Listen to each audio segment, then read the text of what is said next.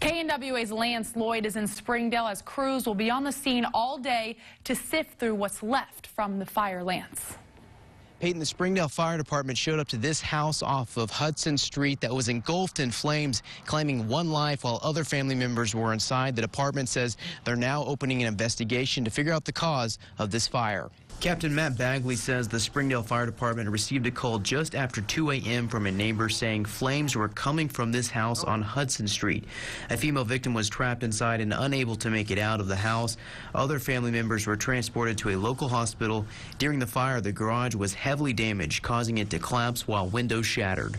So we're trying to preserve everything the best we can while kind of slowly sifting through recognizable debris versus unrecognizable debris and kind of just seeing if we can piece piece together exactly where the fire started. Bagley says his crew will be on site all day as the fire marshal will determine how the fire broke out. The victims in the hospital have been released with minor injuries.